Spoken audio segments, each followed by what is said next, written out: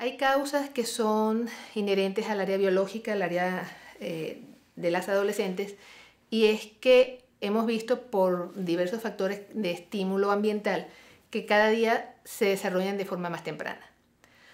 Anteriormente nosotros esperábamos que la menstruación, la primera menstruación, apareciera entre los 11 y 12 años de edad, pero ahora estamos viendo que cada día más aparecen a los 10 o a los 9 años de edad. El que aparezcan estos cambios biológicos hace que también haya cambios de la imagen corporal. La adolescente comienza a tener ese cuerpo de mujer que le es muy atractivo al sexo masculino, sobre todo cuando son personas mayores de 18 años, lo cual implica una seducción que puede llegar a ser un abuso sexual en adolescentes jóvenes. Eso puede ser una de las causas que, que puede ser, no es una de las causas que hemos visto muchas veces en la consulta el no tener un proyecto de vida, el no tener una motivación al logro, el no tener factores protectores alrededor, una familia contenedora, un referente adulto que no necesariamente tiene que pertenecer al núcleo familiar, pero que es positivo.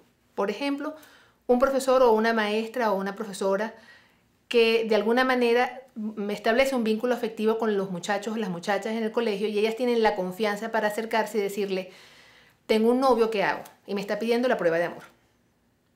¿Cómo, le respondo yo a ese muchacho?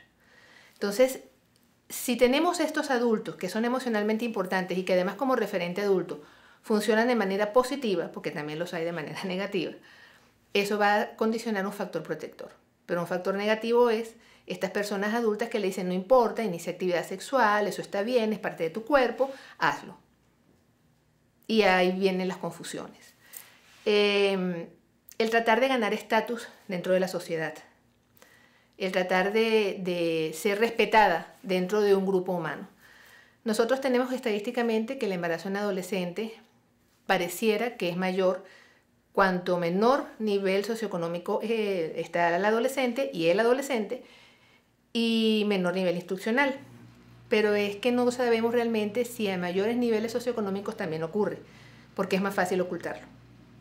Económicamente nosotros lo podemos tapar porque lo podemos resolver o se deriva hacia los abortos, que desconocemos cómo, eh, eh, cómo cuáles son las cifras de abortos que evidentemente no, es una, no, es, legal en nuestro país, o salen afuera a parir, fuera del, del, sitio de vivienda, de residencia. Viven en Caracas, se van a Mérida.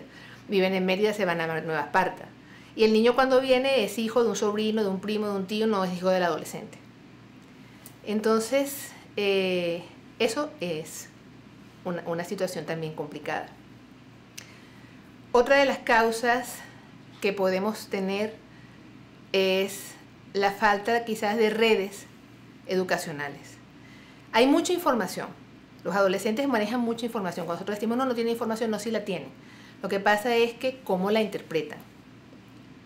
¿Están preparados para interpretar esa, esa información? Saben de qué se trata, saben lo que están leyendo, dentro de su, propia, su propio desarrollo biológico, psicológico y social. Ellos tienen un pensamiento muy concreto y es muy difícil que se proyecten a futuro. Entonces las acciones son inmediatas, van a la inmediatez. Mm, las relaciones sexuales son espontáneas. O están con un muchacho, le gusta el muchacho, están en una situación en la cual se ven absolutamente solos, tienen la relación. Como yo les digo muchas veces a los alumnos en general, los adultos y las adultas tenemos la costumbre de que nos preparamos para una cita. Nos acicalamos, nos bañamos, nos arreglamos, nos perfumamos y vamos lindas y bellas y preciosas, listas para la acción. Las adolescentes no importa que tengan cañones en las piernas como si fueran a la guerra. O sea, se dio en el momento y se dio en el momento. Y eso es lo que ocurre.